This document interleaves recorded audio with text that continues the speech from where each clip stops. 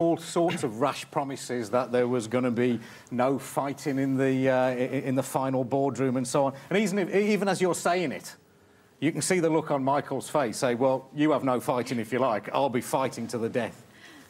I'm going to make this very clear. The boardroom is normally this place where huge fireworks take place. Mm. I can absolutely guarantee you now, and that's not going to happen mm. because, quite frankly, we've been unified and we're going to stick with that. And I'm not going to cheapen myself yeah. by starting to lie, make accusations that were blatantly false. Just look at him. He's not joining in, is he? He's, he's thinking, well, I'm going to have you then. He, he, he, definitely looks as though he's plotting. Um, but, you know, that, like I said, he, you know, he did show himself to be a bit of a rat yeah. jumping off a sinking ship. And, right. and I wasn't going to go down that road. And this was the ultimate of, uh, of lovers' tiffs when we actually got to that boardroom.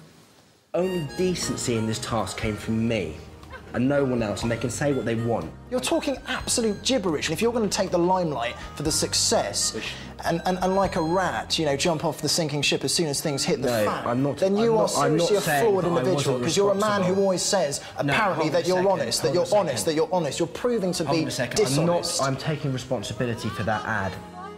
Thank you, Sir but would your relationship survive this? Would you, bounce, would, you, would you bounce back? Of course you would. It's just love could not be killed by The Apprentice. It was very upsetting for me because he's a very, very good friend of mine and it was a very, very difficult ordeal for me. Leaving Michael, it was as, you know, two friends would leave. You know, there, there was no uh, acrimony at all. Shook hands and, you know, back to life. In fact, we've, we've had another look at the poster of, uh, the, uh, of the two kids that you directed so well. It shouldn't be like that, it should be like this. I mean, how could you fall for such a, an odious little twat? I mean, how...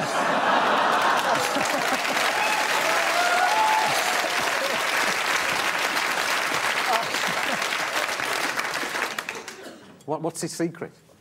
on why he survived yeah. so long. Uh, well, I don't know, we've heard of Teflon Tony, Teflon Sophocles. He's, um, he's obviously liked by Sir I think Sir looks at him and, um, for better or worse, sees the young Sir Sugar. He was self-aware, at least, or he is self-aware, isn't he, Michael Sophocles? He knows how he operates. It's about the only factual thing he has come out with. I mean, the only thing I, it's the only thing I can put it down to is he must have a very incriminating set of photos of Sir Alan Sugar somewhere because I just, I don't understand it. I think that it does play in a weird way to Sir Alan's integrity that I think for this task, um, you were the right person to go because you were the project manager. But I think I'll, I do not actually think he does like Michael that much. I think he's got his number and he's just waiting.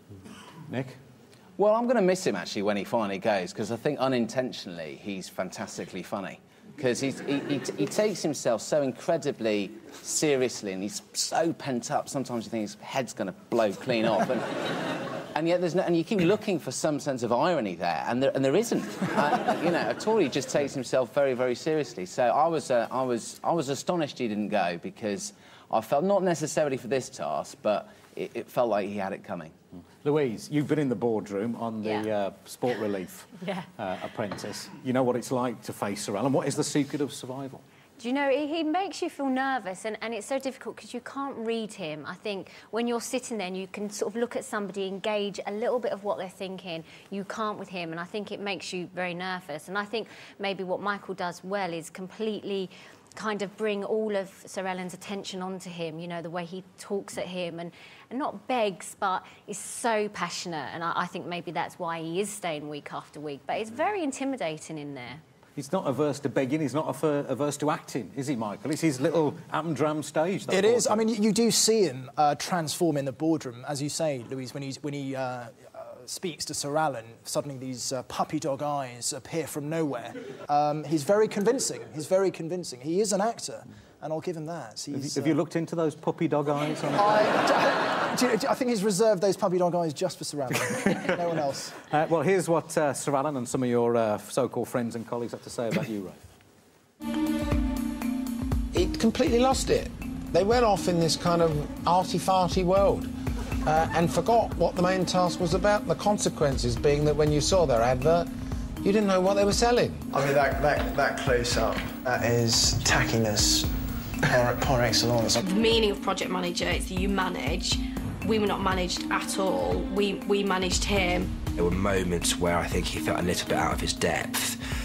And I think I needed to show some strength and character to help us continue. Okay, we're going to do another one, guys. I don't think he's used to people challenging him or his authority, but you know, I think the reality of it is you don't always know best. The branding on the tissues at the beginning is too quick. Raef's mistake was that his artistry was the cause of his demise, instead of actually making a great advert that people could understand, and that's why, in the end, I had to get rid of Rafe. What do you make of that?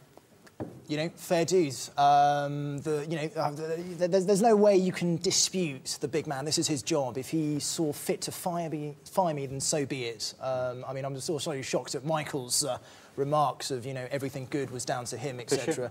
Uh, later on. What have you learned from the experience? you know, for me, I think first and foremost um, is that when you're team manager, when you're project manager, um, I think it's vitally important to instill confidence um, in other people. And for me, what I found out, a good leader inspires others with confidence in him, and a great leader inspires others with confidence in themselves. And if you inspire others with confidence, you're going to go basically to great things. And uh, that's what I've learned. Words are your tool. Very well put. Lucinda, as ever, was involved in a difference of opinion or two. I don't like those tissues stuck against her. Oh, yeah. I don't like these. Yeah, you said that. Yeah. Nothing which is exciting or different, dynamic, or dare I say, vaguely fascinating about what we've got. What gave you the idea of having a girl blowing her nose was nice on a tissue box? But that's what a tissue does, isn't it? Seeing someone blow their nose to me is quite repulsive. Oh, it's a lovely box. All right, you've got your box. There's nothing we can do about it. What do I think? I think it's crap. I don't think we've got a unique target audience. I don't think we've got a different idea. I don't like the boxing, I don't like the colours, and I don't like the pictures on it. Do you believe in the product? I don't like our product, no. You shouldn't have volunteered to go to look at the fucking house. I didn't And what you should fucking have done. volunteer! Um, if someone held a picture of, of an armchair with a cup of tea on it, I wouldn't know it was anything to do with Right, stop it. Not on. Naughty, how- how naughty, naughty. Naughty, naughty, naughty. Did she ever speak to you like that? And was it a thrill if she did so? She, uh, she never spoke to me like that. I mean, I think everyone dismissed her first couple of weeks when she'd wave her arms up in the air and say, you know, I don't know how to use a computer, I don't know how to do this and that. Um, but when